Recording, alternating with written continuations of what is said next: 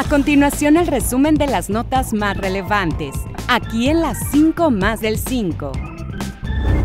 Policías municipales se manifestaron a las afueras de la Dirección de Seguridad Pública. Demandaron la homologación de sueldo, retroactivo, seguro de vida y la destitución del subdirector de la corporación. El presidente municipal, Pedro Joaquín del Buí, platicó con los elementos para atender personalmente sus peticiones. El asesor jurídico de la empresa Promocasa integró la denuncia judicial ante la Fiscalía General del Estado contra las personas que invadieron las viviendas en el fraccionamiento Caribe segunda etapa.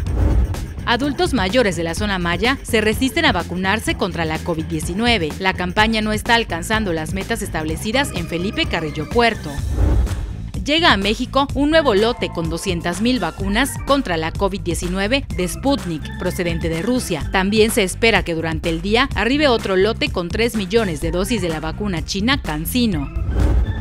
Farmacéuticas advierten escasez de materias primas para vacunas contra COVID-19. La enorme demanda de dosis empieza a producir la falta de los materiales que se requieren para su fabricación.